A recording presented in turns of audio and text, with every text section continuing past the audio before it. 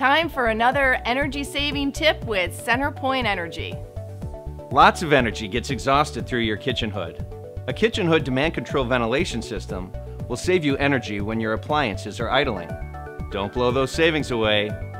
Install DCV and save approximately 30% of your hood system HVAC costs. For more energy-saving tips, visit us at centerpointenergy.com slash foodservicetips. tips.